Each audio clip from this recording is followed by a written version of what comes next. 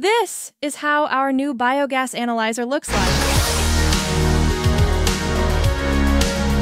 Hi, welcome to Biogas Americas 2025.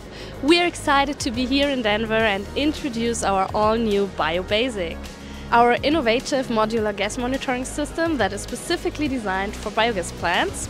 The easy to operate and plug and play monitoring system measures all relevant process parameters so it shows you your methane concentration, uh, also hydrogen, sulfur, carbon dioxide, oxygen and hydrogen. The weekly trend shows you when to take actions, for example, to exchange the carbon filter. So the BioBasic is already trusted by a lot of operators across Europe and now we're bringing it to the US. So this is your chance to save 30% of the regular price.